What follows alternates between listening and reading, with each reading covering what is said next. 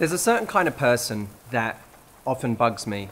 And it's the kind of person that when you have a problem or you're down about something, you're going through something difficult, their response is smile, be positive, be happy. And they want to list out all the reasons you should be happy. Especially the self help world encourages us so much to you know, feel inadequate if we're not happy. Like, you should be happy all the time. And life, isn't it amazing? Isn't it beautiful? Isn't it the most incredible thing? You should be happy. You should be happy. And it's like, and maybe today I'm not that happy. maybe today there's things going on in my life that are making me really sad or depressed or angry or anxious or frustrated. And, and that's human. It's human to feel those things. It's almost like there's the people who think life is amazing. And then there's these people who think, life sucks. Like life is a hellish struggle. And both sides are arguing for which is true. My response is why can't both be true? What if life wasn't good or bad? What if life is a lover? And as a lover, we go through many different experiences with life.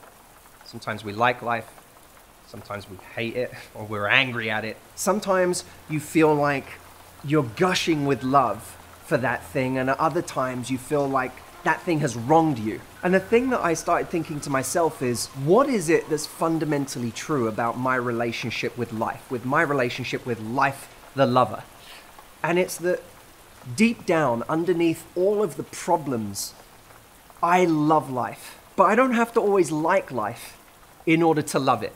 But when you decide, you know what, I do love life, you know, despite the fact that we decided to make a video outside today and it is pouring with rain and it is far from ideal. I love life.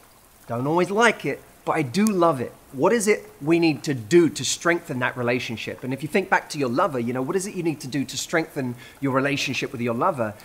You need to get good at forgiving certain things. You know, there are certain things that, that life has done to you that you need to get good at letting go of. There are certain things that you need to accept about life to say, this is the way life is sometimes, and I accept it. And instead of wishing that my partner were different, I'm going to accept certain things about them. Sometimes it's about looking at the best side of life and understanding that there, yes, there's also a worse side of life. There's also, life has some really bad habits, but I am going to focus on the best parts of that partner. Sometimes it's saying, I'm going to be proactive about what I bring to the table with life instead of being entitled. So many people complain about what life isn't giving them, about what they're not getting from life, instead of focusing on what they can bring to life, how they can nurture it, how they can be generous with their energy and give more. Sometimes we need to learn how to argue better. You know, not all relationships are about eliminating arguments, it's about arguing better, arguing more productively. You know, if I'm in a fight with life right now, am I focusing on you know, what I hate about it, or am I focusing on what I could actually do to improve it? You know, life, I believe life is beautiful. I wouldn't do what I do if I didn't believe life was beautiful, but I think life's far from a perfect partner. I think there are two choices we, we get to make. One, and th- this is where we really have power, this is where we really have agency, because we can't control life, but we can choose to stay. If I love life, I'm going to stay in this relationship. We can also decide to bring as much as we can possibly bring to that relationship to make it as good as it can possibly be. And I think that's what's really important. And as I was thinking about this concept, I started thinking about my retreat program and and you know that has been in my lifetime the most special thing that I have created. The retreat is like the ultimate vow that you take to work on that relationship with life. I mean, it works on two relationships. It works on your relationship with yourself, but also your relationship with life. And those are the two foundational relationships of everything else you do and experience in life. So many of the physical parts of life we cannot change. We can't change tragedies, we can't change disasters, we can't change unpredictable events in our lives day to day, we can't change our own aging, we can't change some of the certainties of life, which are the uncertainties and, and the way time moves on. But what we can change is our emotional experience of those things. And ultimately, it's the emotional experience we have of life that determines the quality of our lives. I love life and I choose to stay.